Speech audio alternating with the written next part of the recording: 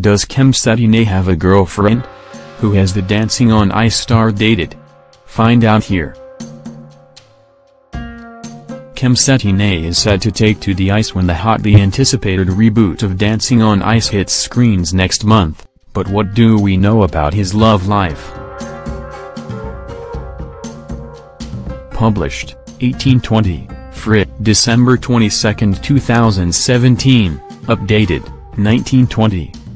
December 22, 2017. Kem Cetinay, 21, shot to fame on Love Island earlier this year. But is he single and who has he dated? Is Kem Cetinay single? Kem Cetinay is currently single after recently confirming his split from girlfriend Amber Davis, 20, following just 132 days of dating. The pair met on ITV2's Love Island and struck up an instant connection. They previously boasted about their active sex life on the reality show, admitting to getting it on under the covers just meters away from their housemates as well as claiming to have had a racy romp in the villa pool. Kem and Amber went on to win the show and split the £50,000 cash prize between them. However, after just a few months of loved-up bliss, during which they gushed about planning to marry each other in the future, the Love Island favorites went their separate ways earlier this month, insisting in a joint statement that they will remain friends.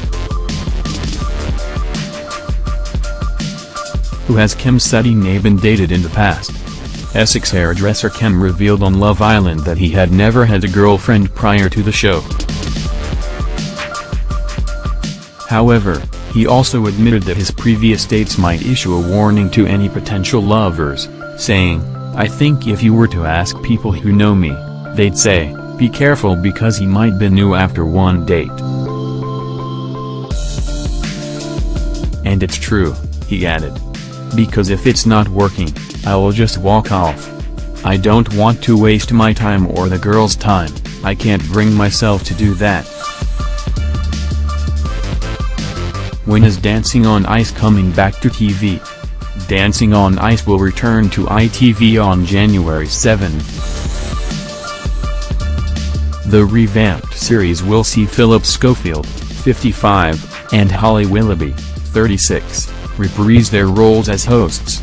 Kem Cetinay will be joined by the likes of Candice Brown, Brooke Vincent, Cheryl Baker and Donna Air. Dancing on Ice returns to ITV on January 7, 2018.